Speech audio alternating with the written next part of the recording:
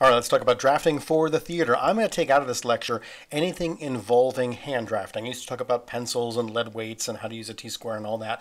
I want to focus just on the things that are the conventions of drafting for the theater that are true whether you're using a pencil or a mouse to generate your drawings. Because even if you are using a computer and CAD computer aided drafting to generate your drawings, you still need to understand what it is you're drawing. The computer can't draw it for you. Computers are great for the undo function to make lots of changes and variations and try out different ideas. You don't have to worry about smearing graphite around. It's a lot easier to assign line weights consistently. Lots of things like that that make working with a computer very efficient, which is why basically everybody is using CAD drawings. But whether you're using a pencil or a computer, you still need to understand how somebody reading your drawing needs to interpret it. So that's what we're going to focus on right now.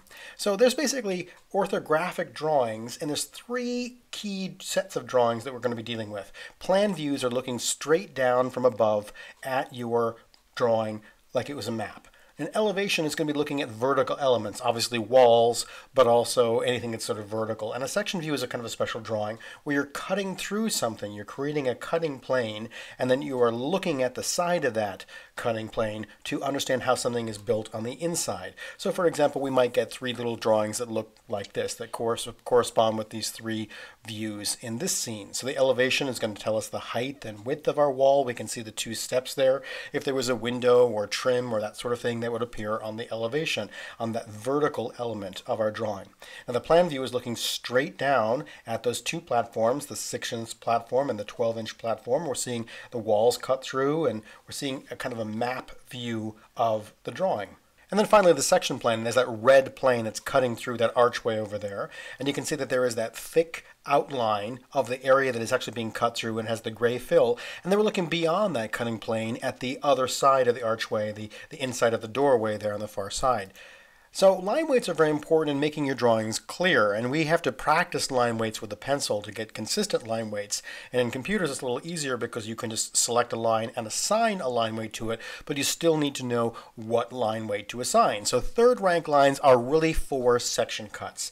Now we talk about them being the theater walls and that kind of thing, architectural elements being those heavy lines, but that really is because we're using a horizontal cutting plane to cut through our theater that's uh, showing us our ground plan that's using those heavy lines for cutting through those walls. Now, the second rank lines are for real things that you're putting on stage. So it's walls and steps and props and furniture and that kind of thing, things that can actually be interacted with. Now, that wants to be a nice bold line, nice solid line, but it doesn't want to be so thick that it, it's hard to see details. But it doesn't want to be so thin that it starts to blur in with the drafting convention lines, especially the dimension lines. So that first rank, those lightest lines, are for things that aren't real. We don't build a center line, we measure to a center line. So a dimension line, hidden lines, uh, the arc of a door swing, that kind of thing. Things that are really important for communicating what we're looking at, but are not physical things that we're going to actually build, are those first rank lines. And if the second and first rank get a little too close, it can be hard to tell what you're looking at, what's a dimension line and what's an object line. So we want to keep those two nicely separated.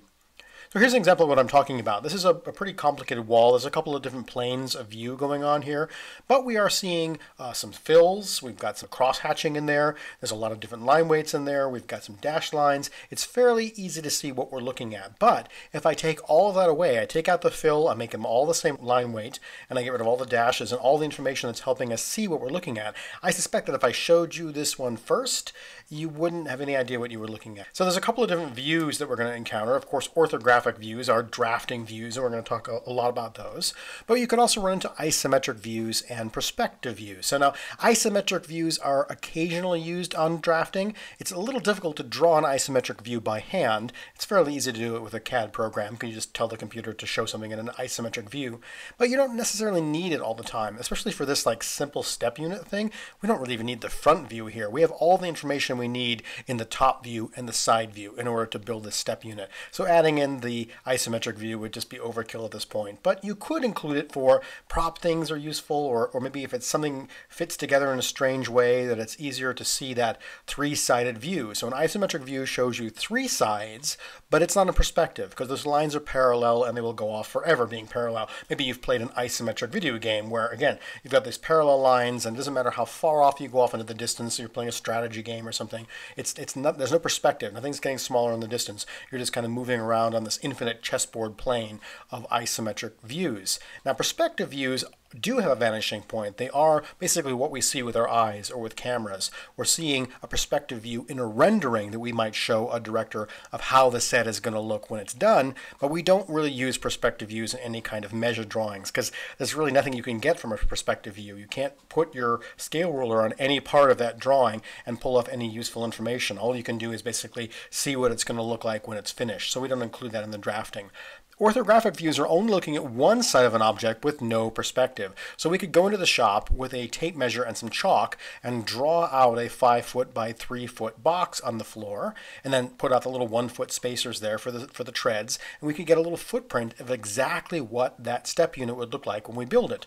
And then we could go over to a piece of plywood and trace out that side view on there, get out our saws and cut that out and we would have half of our side of our step unit. So these are real dimensions that translate to the actual actual materials that we are working with. That's also true with angles as well. So we can measure and know for sure that that's a 90 degree angle. We could probably assume it was a 90 degree angle on the back of that step unit, but we wouldn't know for sure. But in an orthographic view, like the side view here, we can know for sure by putting a protractor on that and getting that for sure. We, we have no way of pulling off that kind of angle on either the isometric or the perspective view.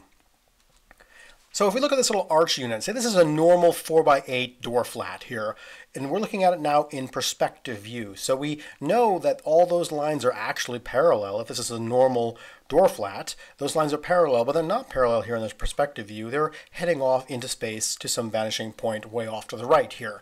We also know that those two lines are going to be the same height. If this is a 4x8 flat, those are both 8 foot high. But look, the red line and the green line are different lengths in this perspective view. That green line is getting smaller because it's farther away from our viewpoint. And the angle, that should be a 90 degree angle if this is a normal flat, but it certainly isn't in this view. Who knows what this angle is? So we don't really get any useful information out of a perspective view. So how can we fix this? What we can do is take that flat, pull the face of that off of the front of it, turn it, and lie it down on the ground, and then look straight up above at it, and then remove any kind of perspective. So we're just looking at, say, that, that piece of Luan that's now lying on the floor. We're looking straight down at that flat.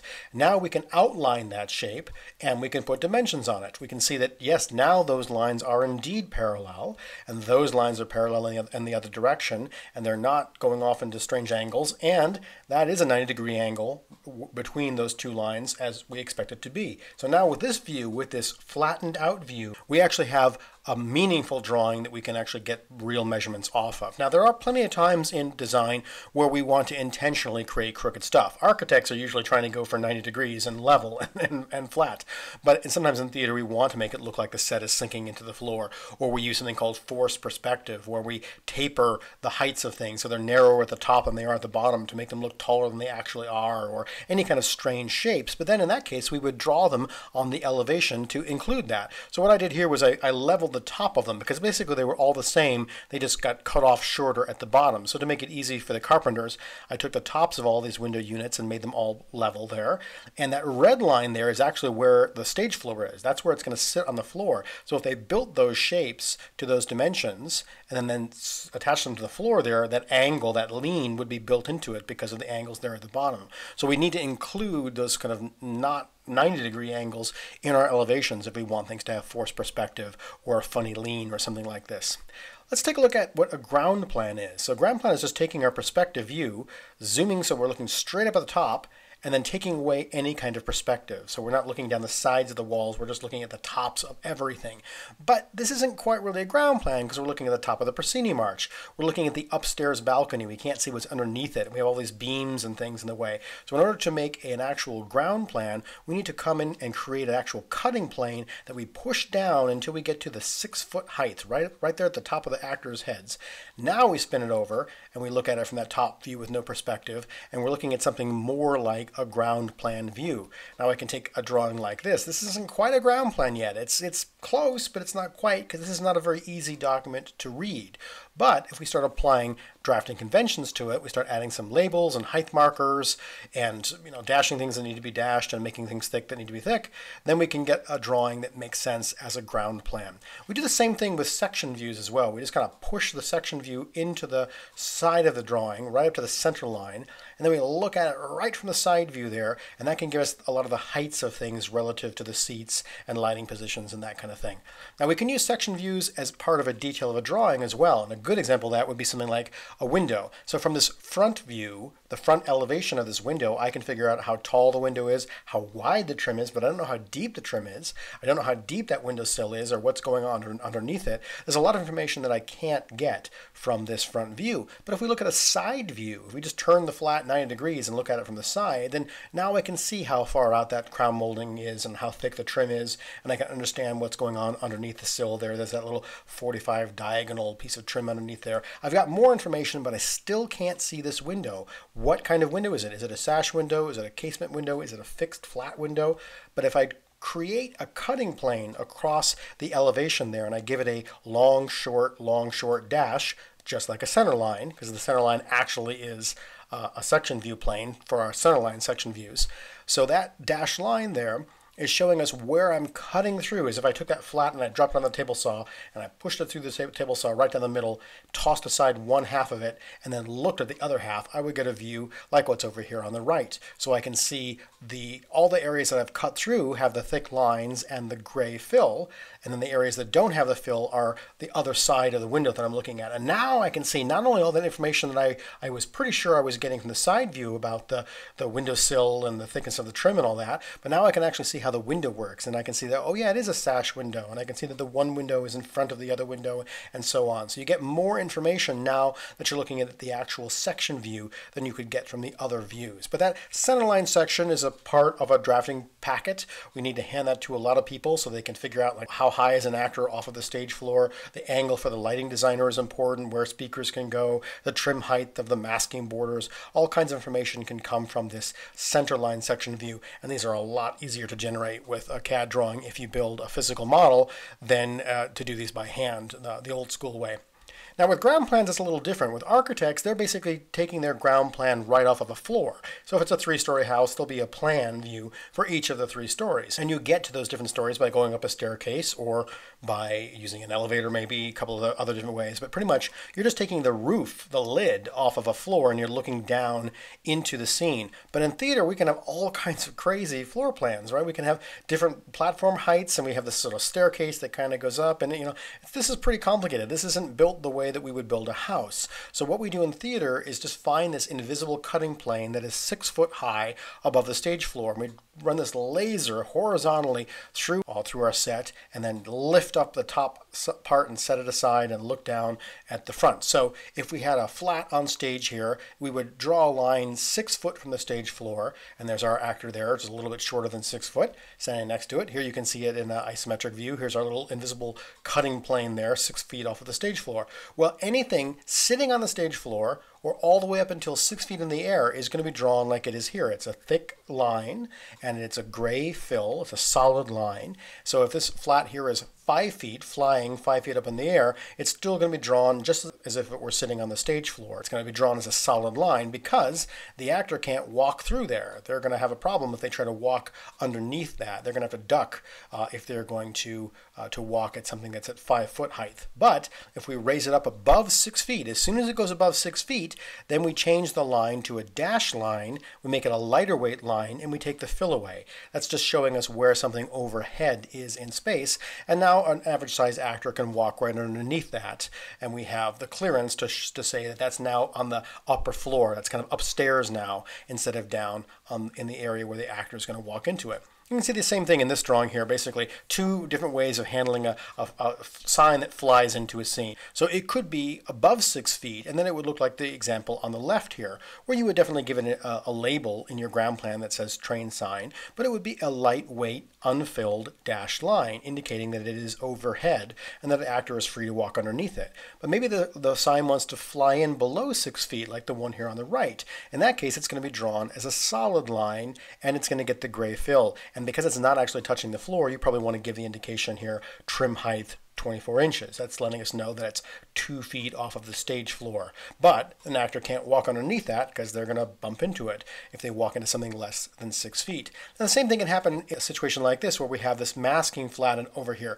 We're down on the ground, this flat is lying on the ground up until this point where it's uh, six feet away from this corner here. You can't walk through this. The actor can't walk through here because it's solid, but they can stand just like this figure is right here, and this turns into a dashed line. It's, it's still showing that the flat is still going on till nine feet over here.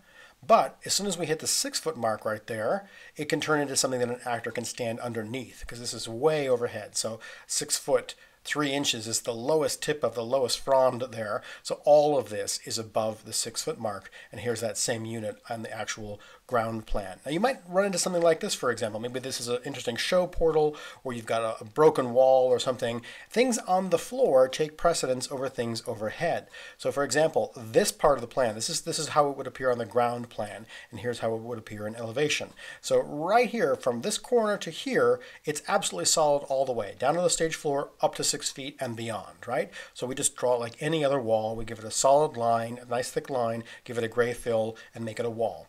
But here, it's above, but it's also below but we're looking from this six foot height. We're no longer cutting through it anymore. We're looking down at it. So as soon as we get to this point here, we're looking at no fill. So the, the thick line is still there, but there's no fill. And we get these little squiggly contour lines that are roughly corresponding to these breaks in the wall here to give us the suggestion of that. So an actor could come over here and sit on this, could step over this maybe, but they can't walk right through here because there's still wall that's touching the stage floor over here. And yes, it is above overhead as well, but that's less important. Remember, that's upstairs Anything above six feet is upstairs. That's less important than the fact that it's actually down here on the stage floor. So as soon as we get to this point right here where the actual wall stops on the ground, now we can jump up to here and say, oh, okay, from here on out, this last little bit here is going to be a dashed overhead line. So this solid wall, this wall lower than six feet, and then this wall that's higher than six feet are all indicated just like this. And the same thing is true with a diagonal beam. So say you were doing something in a kind of a garret apartment or whatever, and you wanted some beams, rafters, or whatever going on here. So if this was the beam, it was, it's going to be a uh, we're looking down at the top of it at this point, so we're looking at no fill. If we really want to be fancy, we would see that there's a section cut right there. So we give it a little bit of a section cut. But then beyond six feet, it's going to turn into a dashed line there, knowing that an actor can stand right here or right here in the plan view, but they can't walk through here uh, on the plan view because that's going to be lower than six feet. When you get organic things like trees, this comes up occasionally, you know, say there's a little branch here that the actor can come and sit at. So you can see that that tree seat there, it's labeled tree seat and how high it is. And it's also being shown with unfilled but solid lines because it is a solid shape down over here, but it doesn't get a fill because we're not cutting through anything. We are cutting through the tree trunk right here, so that gets a solid fill, but we're not cutting through the roots down below here. So we've got these roots sticking out, but they're solid lines because they're down here where an actor could trip over them. And at some point, though, this branch is going to go up beyond six feet where it will turn into dashed lines. And maybe there's a canopy outline here suggesting where the, you know, the leaves are going about this point. That would be useful for the lighting designer to know about how far out these leaves go. So this is a way that you could draw this shape here uh, by just figuring out where is that six foot cutting plane. Occasionally you'll get something like this as well, and this is this can be a little useful for seeing this before we talk about doors and windows. So if you had some little wagon unit, for example, that had a wall on it and then this big cantilevered overhang on it. So for that, in this case, this stuff on the ground is more important than things overhead, just like we were looking at with that broken wall a moment ago. So this platform right here, or the orange platform here, is more important. So that gets the solid line on there. It doesn't get a fill because we're looking down at the top of it. Now the wall over here gets a fill and the solid line because we are cutting through that wall. And then the, all this is overhead, but it's perfectly in the same plane as the edge of our platform. So we don't take these and turn these into dashed lines because the platform is more important than the overhang. But over here where it doesn't matter, there's nothing else to get in the way, we start putting the dashed line overhang over here. But the platform is more important than the roof. So if the, wherever there's platform, it's going to be uh, uh, drawing those solid lines first, and then if there's no conflict, we can do the overhead dash lines. And we can kind of see that what's that what we're doing here with this idea of how to draw an archway. So if we look at this archway here and we drop the top of that, we sort of just drop the inside of that and then we look down from above and then we take away any perspective. So that's basically how we got to this point. So now draw an outline around the parts of the archway that are actually going all the way to the floor. So these are these are walls here, right? These are two kind of columns and across the middle here is a little bridge that we can actually walk between these two. So here I want to dash the edge of those because this is all sort of one facing here on our archway here, the front and the back. So here it becomes a dashed line because you can walk underneath this arch. You can't walk through here or walk through here here or come in here and walk this way, but you can walk underneath this. Now, if this were just a slab floating in space, it would have a dashed line all the way around, and these two column pieces wouldn't be there. So we would just see this dashed line, just like that train sign floating overhead. But because this little bridge connects to the walls, this line here becomes more important than the dashed line that it's covering up, because this is down under six feet where an actor could actually lean up against this. And then just to finish this for the drawing, we could take and fill this in with some gray or we could go old school and put in some cross hatching in there. But this is basically how we would show an archway in a scene. So we get the same idea here. If there's if there's just a gap in the in the wall, there's nothing overhead, you just draw two flats and leave it alone, and you can just walk right through them. But as we just showed, if there is something over six feet here, we will show this over six feet part here as a dashed line. Now, if it turns into a doorway, it's the same thing. All we need to do is add the doorway, and then we put this little arrow, this little uh, arc with an arrow on the end of it to show which way the door swings. Just show it, you know, 90 degrees open, and there's our door. And if it opened up the other direction, we could show it swinging that way. Now, windows are a little different because windows, unless it's a French window, which is basically a door, right? Uh, it's going to have the window, the opening in the wall, but it's also got a solid area down below here. So that's why this is shown as a solid line all the way across front and back. And then we draw this line in the middle there to suggest where the window is or the pane of glass is. Now, the bigger the scale drawing, the more detail you can get in. But if you're just doing a quarter inch ground plan, that's a perfectly good way to show a window. And it's a window because this is a solid line here instead of a dashed line, like the archway over here. Because unlike the window, there's nothing down here to stop us from walking through that archway. But this little piece of wood down here, or plaster, or sheetrock, or whatever it is, this right here is keeping us from walking through here, and so it's shown as a solid line.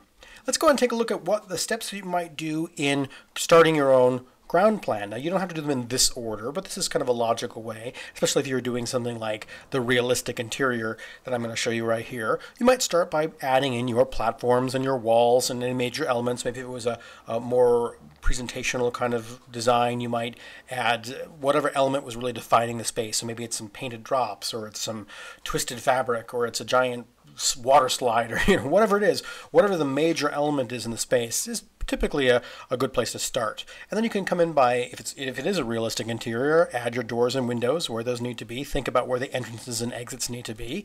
Add in major set prop objects. So that's going to be furniture. You don't have to worry about every single little bit of hand prop sort of thing, but maybe things like telephones, that kind of thing. That can be important for blocking reasons, but for the most part, we're thinking about where things are. And then a very important step is to add labels to anything that might be unclear. So that sofa there, probably could guess that was a a sofa, but we're not entirely sure until we get the word sofa.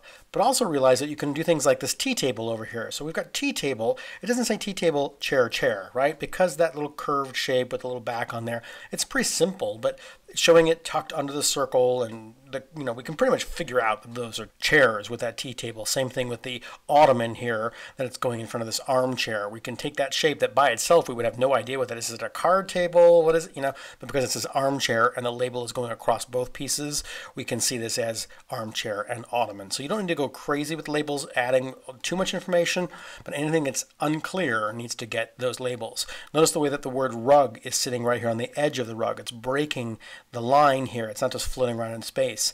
Same thing is going on. I mean, the word stool is just impossibly big for that little circle there, but the fact that it's kind of stuck on like a little label. Same thing with the drafting tape, the bookcase, the armchair, all these are, you know, this is just using a white fill in your little text block and dropping on like a sticker. That's a very useful way to uh, apply labels. And if it's just impossible for it to fit, then just do a little arrow, point at something, and just give it a, a name off to the side.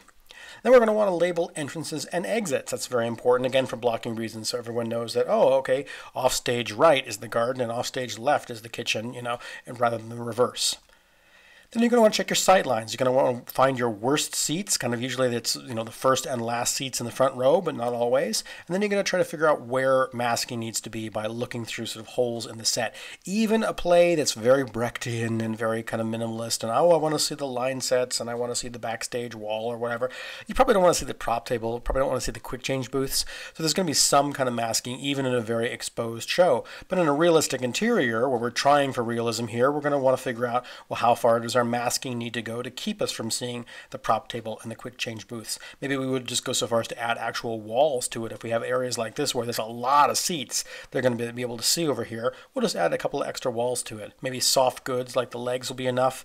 We can also see well, how far people are going to see through a window for the painted drop that we're adding as a backdrop. So how big does that backdrop need to be? It needs to be at least big enough to where this sight line isn't going to go shoot past it. So we got a little extra room to spare here. We're fine. Also notice too that the cyc and the drop here have the line set that they are attached to indicated right here on the ground plan. And if you have things that are moving around in your scene in different positions, so this is a view of the act one of this play, and there's a garden wagon here that's going to come in in act two. So because it's living right here in act one, this is the act one position, it's solid lines. It's not thick lines, but it is a solid line showing where it's parked in the wings. However, this little alcove unit that's now on stage right now is going to park over here in act two, and it's not there right now. Nothing's there right now, so it's being shown as a phantom line, as a dashed line, showing that this this will move into that position and this wagon will take its place in Act 2. And of course, you can add notes for any kind of clarity. So anything that won't fit on your drawing, you can just say see note 2, and then over here you can say something about what you're pointing at or if it's things like the fact that the stage floor will be covered with quarter inch masonite. That's a universal note. That's like, where are you going to put that? I guess you could sort of like point to the front of the stage or something, but it's perfectly fine to add it to the notes because the technical director is going to read through your notes before they start doing anything else. And of course, you can add your title block and the information that goes into that. We're also going to add the height marker. So this little plus seven inches is letting us know that we step up seven inches to get to that platform.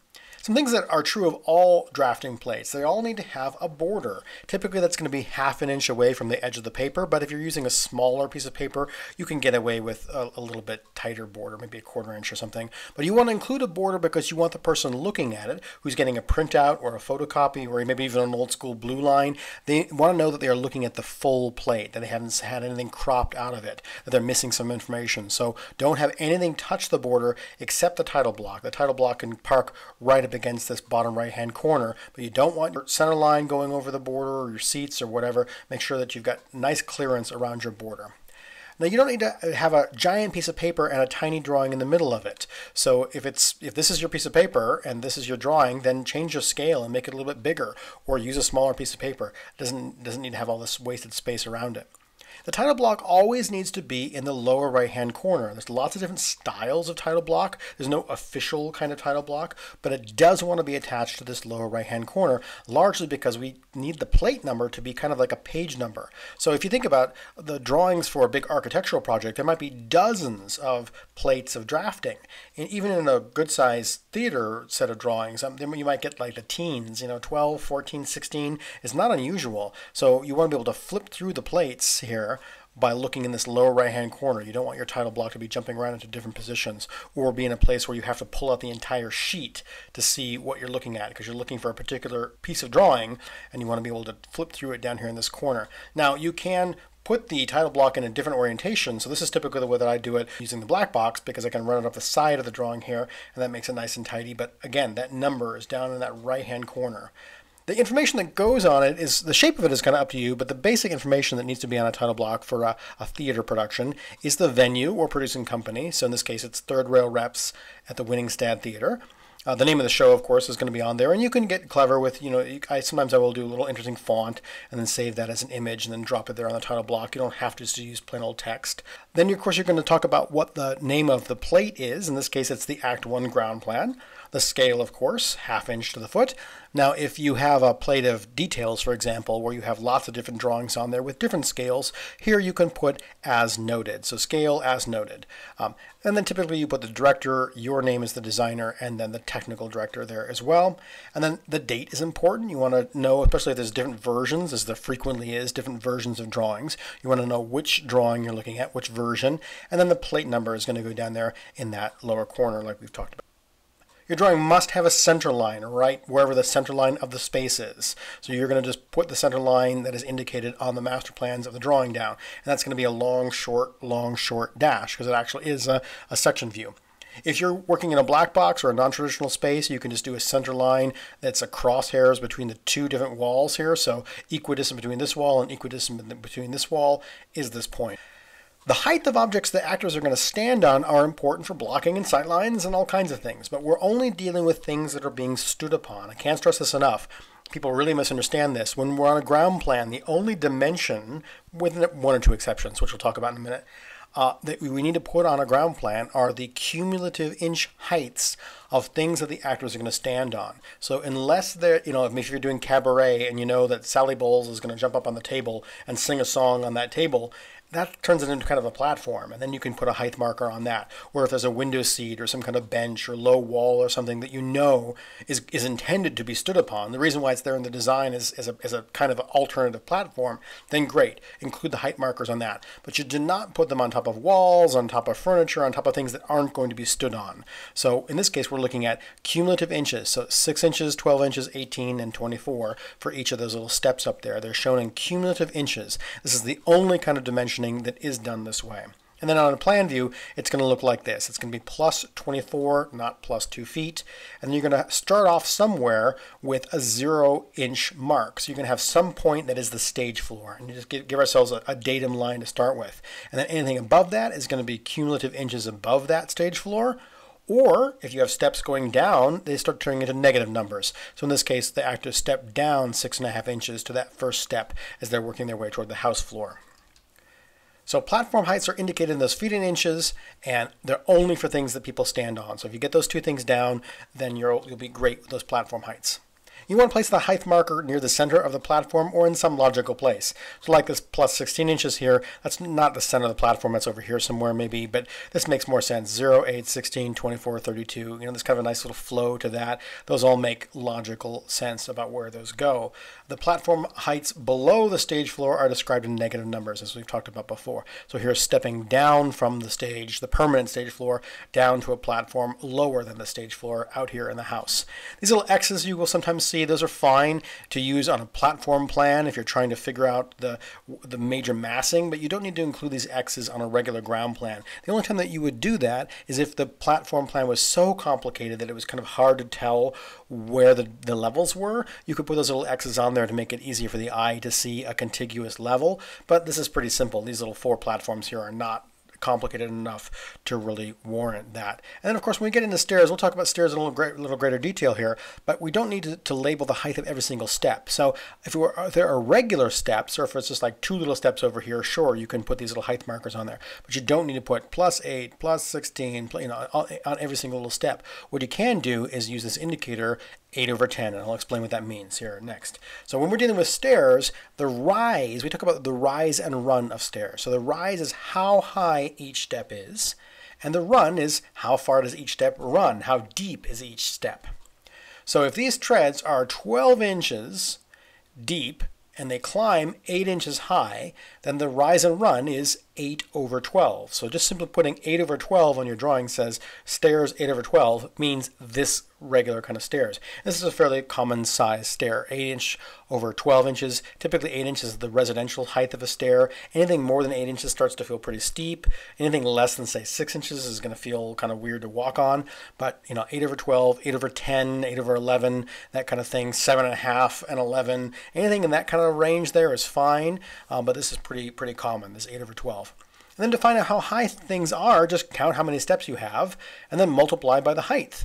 And they really should be the same height. You should not have staircases where that rise is different because that makes it really dangerous and difficult to walk up a staircase. Even like a quarter of an inch difference, we can feel that ergonomically as we're walking down a staircase. So we'll say this is an 8 inch high rise there. So 8 times 8 is 64, or 5 foot 4 inches. But don't forget, that you oftentimes are stepping up onto a platform or landing. There might be one more step there. So in this case, it actually is 6 feet high.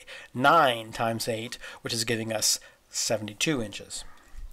And then stacked levels are kind of an interesting thing. So if you have pieces, this is not unusual to have a staircase going up to a balcony level with part of the stage visible underneath it. Now, if this was a wall here coming straight down from this upper balcony and, and this woman would, would be actually backstage the, where she's standing there, it'd be a little bit different. You can kind of get away of just drawing one plan view, but as soon as you have something underneath the, the level above, you're going to have to address that in your ground plan. So one of the ways that we can do that is drawing a staircase that says, all right, here are the stairs, 8 over 10, so they're rising 8 inches, they're going 10 inches. Where we've got a landing here. It's nice to add a height marker on a landing because very oftentimes people are going to be standing on a landing to give a big speech or whatever. You know, people are going to pause here for a while and use it as a platform. So giving a height marker on there is a good idea. And now this is going up to a landing that continues past this break line and this little squiggly line. And sometimes you can do a little, S, kind of looks like a dollar sign without the the uh, the middle bit. Um, that little break line is just saying this is going on but I'm going to stop drawing it right now. And you can do that for anything that you want. Anytime you want to just sort of break something to, to tell people that it continues to go, but you're not drawing it anymore, you can just put this little break line on here. And then we, what we can end up with is something that looks like this. So this is our main ground plan, our first floor ground plan. Here's our staircase going up to our landing, and then it's going up to the balcony above. Here's the break line where the wall is. So these are all items on the first level. So there's a cellar door down here on the first level.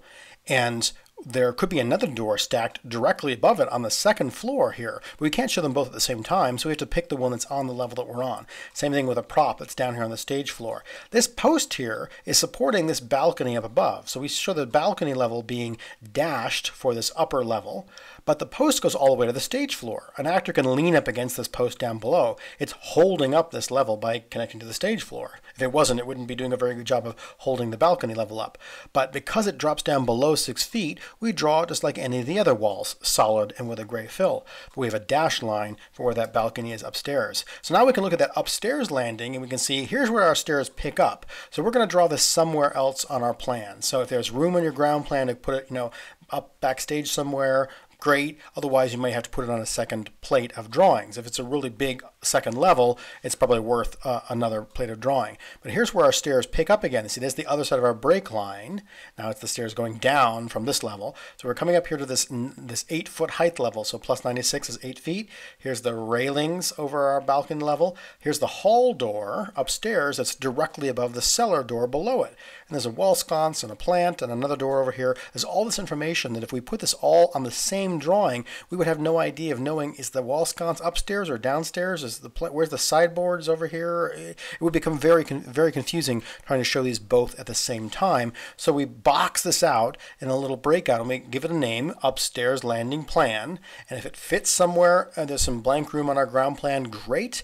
Otherwise, you need to put it on another drawing. So here's an example of the main ground floor level here, and I was able to rotate the second level here. This is noise is off, so it's got two two floors floors, rotated it, and just tucked it over here. There's enough room off to the side here where I was able to show the second level, the upstairs of the plan, off to the side of the same plate of drawing. You can't always do that, but in some, some cases you can get lucky.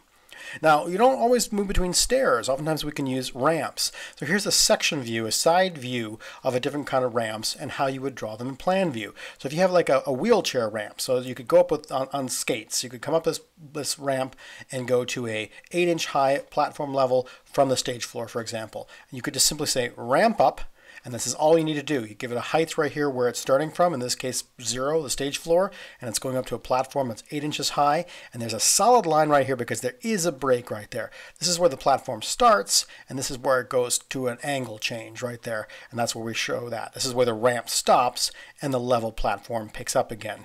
Now, this is exactly the same, except there's a step up to the ramp. You can't go up on your on your roller skates anymore. You have to step up to this, and that first step is eight inches high, and then you go up the ramp to a 14 inch high platform above it. So that same on this end it looks pretty much the same, but we add this little height marker onto the ramp to show that the bottom of the ramp is a step up first.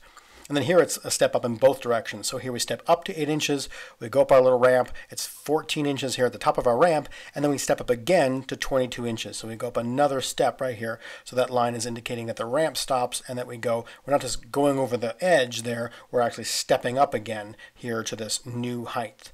Now those are all for straight ramps, which is usually what we're dealing with, but occasionally you might have an organic, organic shaped kind of ramp. And here we just use simply contour lines. We'll talk more about that in a minute. So we're going from zero, in this case we would say slope up, and the, and the spacing of the contour lines is suggesting how steep it is. So they're more tightly spaced down here at the bottom, and they get less tightly spaced as they go, as, as it sort of levels out over here, and it takes us up to our 14 inches. And there's still a hard edge right there, so we see that corner is still being shown as a, as a solid line. But this is a completely organic shape here. We would just give the footprint of the organic shape, and maybe we would pull out some key heights here. We would say, well, the top is about 30 inches and this little area here is about 20 inches. It's not going to be exact because it's kind of a rough shape, but it's, you know, in the ballpark of uh, 20 inches and then a foot over here. And then again, the couple contour lines really close together to show there's a step here, a couple more for this little bit here. It's not quite as steep as this first one, and then a few spaced out ones to show this little incline, and now we're up here at the top. So that same kind of idea of using those sort of rings and shading things very useful for a lot of things. You could suggest a log uh, here by putting in some parallel lines around it to suggest a cylindrical shape of an object, a tree stump, something like that.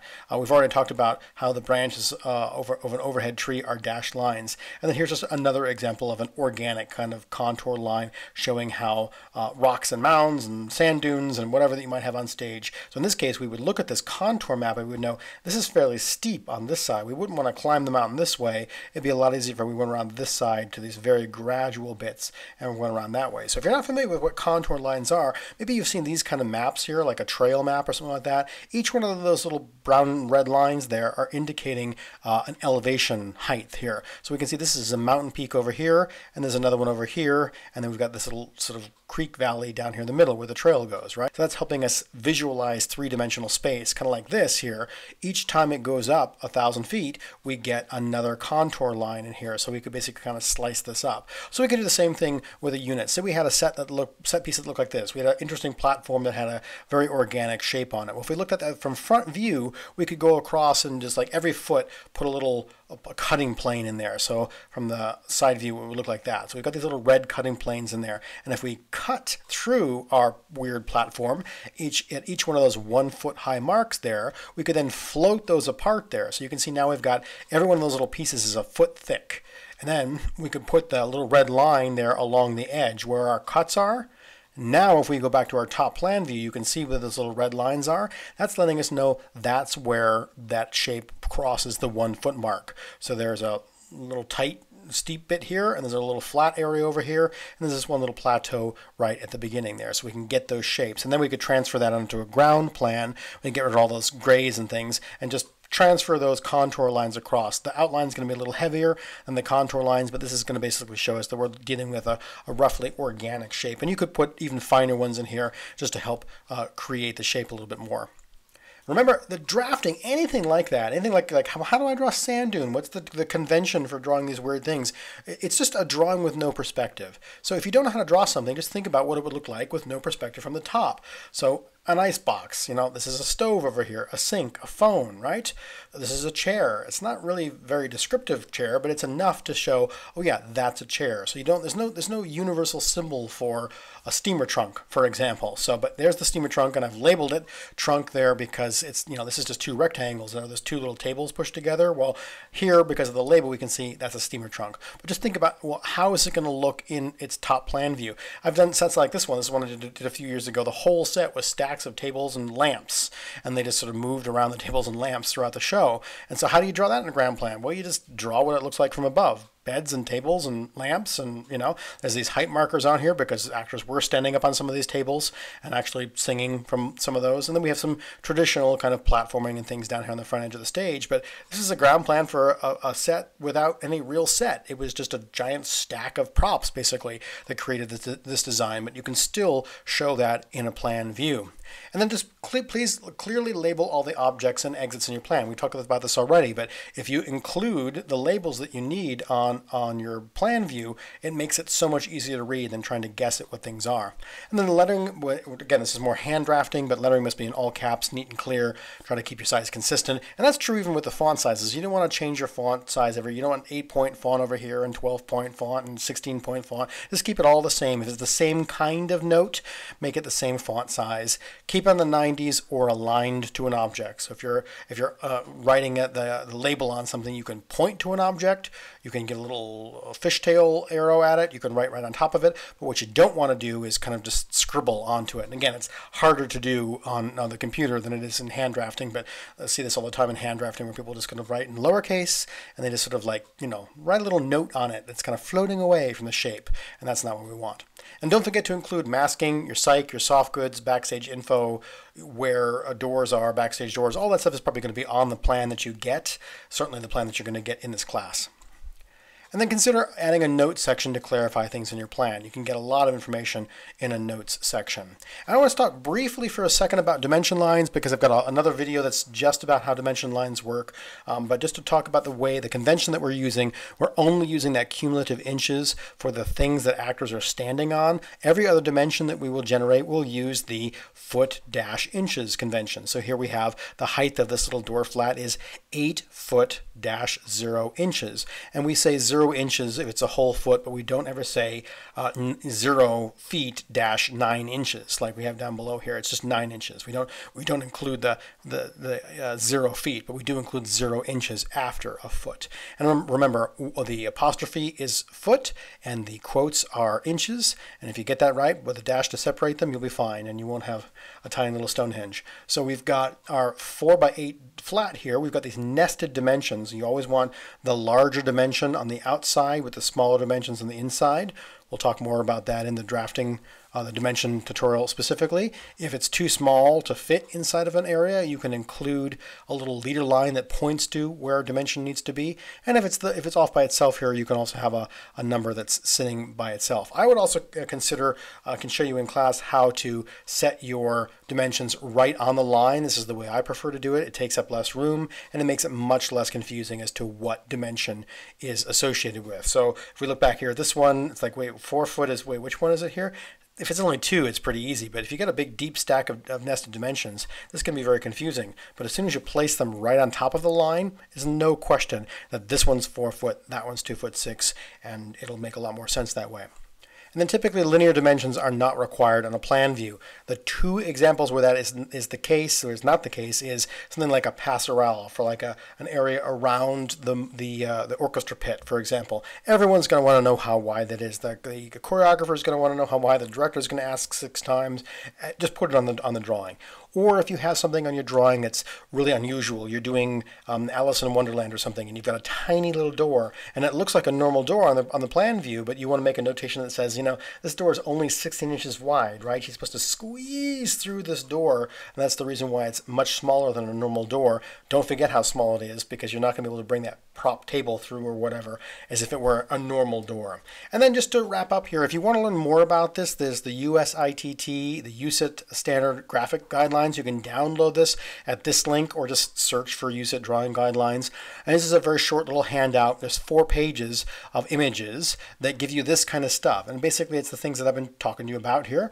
Um, there's just a little bit of a, just a kind of a key for common things that you're going to need to draw. If you want more than that, there's a lot of books. Um, my graduate school professor was Dennis Dorn here, who was the co-author of Drafting for the Theater, and he's also the guy who came up with these uh, drafting conventions. Certainly you can download this, it's free, and it's like four pages. Here's what they look like. This is one of the four pages, and this is just going through and telling you. This is just kind of a key that's pretty straightforward that can tell you what these things mean, and they're not that complicated. So I would encourage uh, checking out that as well. So that's enough to get you started, enough to get you into trouble. And don't forget that if you're not sure how to draw it, just think what it's going to look like from above and go for it. So good luck.